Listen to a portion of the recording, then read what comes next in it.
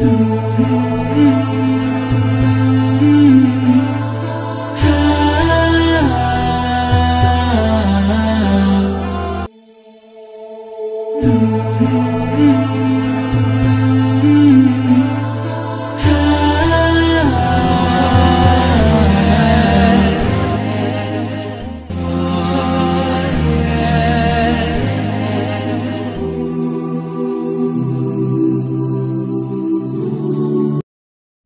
Assalamualaikum warahmatullahi wabarakatuh.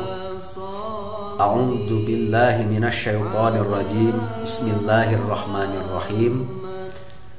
Alhamdulillahi rabbil alamin wassalatu wassalamu ala sayyidina Muhammadin wa ala alihi washabbihi ajma'in amma ba'du. Beraya yang dirahmati Allah Subhanahu wa taala.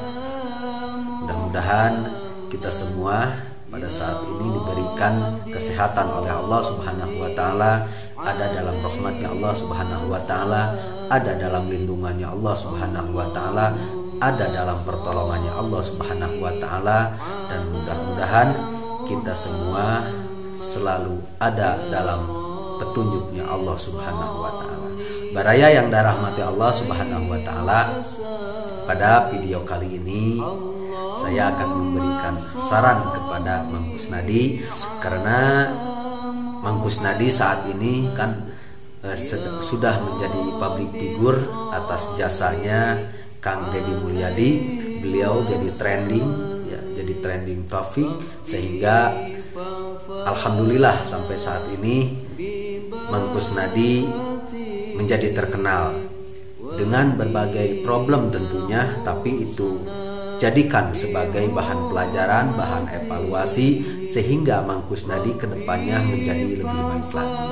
Dan saya ingin memberikan saran kepada beliau Mangkus Nadi yang sangat terhormat menurut saya dan sangat luar biasa karena banyak youtuber-youtuber yang diuntungkan oleh Mangkus Nadi subscribernya naik ya bahkan ada yang sampai monetisasi ya channelnya sampai di monet ini adalah berkah rahmatnya Allah Subhanahu wa taala dengan jalan Mangkus Nadi. Mangkus Nadi bisa begini dengan jalan Kang Deddy Mulyadi.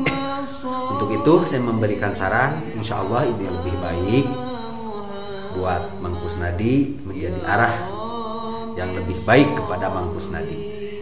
Kang Deddy Mulyadi mempunyai istri yang sangat cantik. Beliau memakai hijab, ya, jadi menambah kecantikan beliau apalagi beliau sekarang menjadi Bupati Purwakarta. Nah, saya memberi saran kepada Mang Kusnadi untuk mencontoh eh, istrinya Kang Deddy Mulyadi. Beliau berhijab. Maaf ya, saya sedang batuk. Pilek juga. Mohon doanya dari baraya semua mudah-mudahan saya diberikan kesehatan oleh Allah Subhanahu wa taala. Ya itu ya.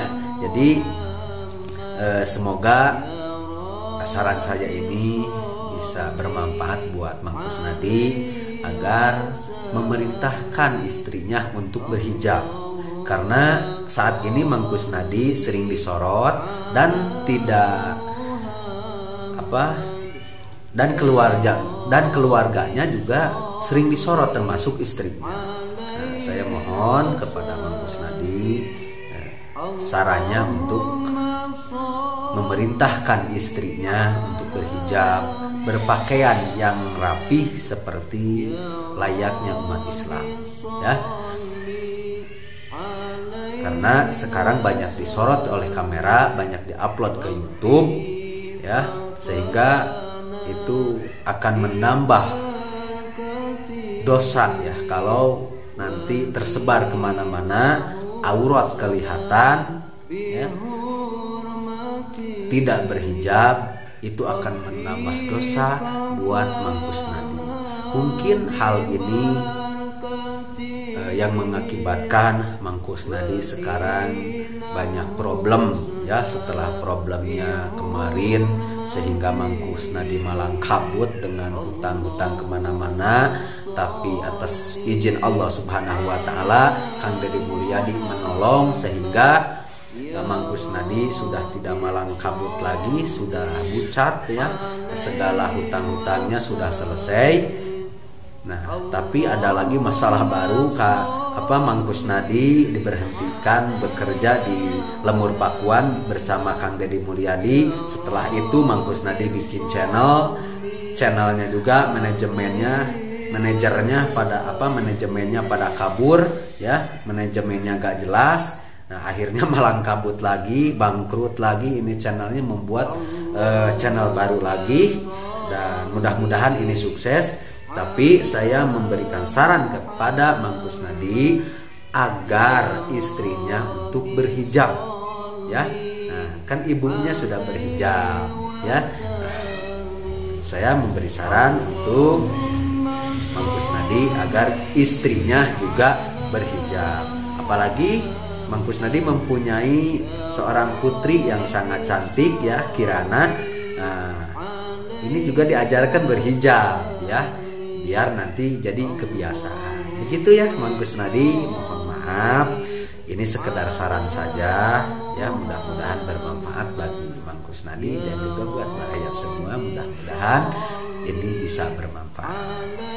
Itulah hari ini mudah-mudahan kita semua diberikan petunjuk oleh Allah Subhanahu wa taala, diberikan pertolongan oleh Allah Subhanahu wa taala sehingga kita semua bisa berbuat kebaikan di bulan suci Ramadan ini dan setelah bulan suci Ramadan ini kita semua dalam keadaan fitri, keadaan dalam keadaan bersih. Itu ya. Mungkin hanya itu dulu yang bisa saya sampaikan dalam video kali ini mudah-mudahan bermanfaat. Wallahumma ila Wassalamualaikum warahmatullahi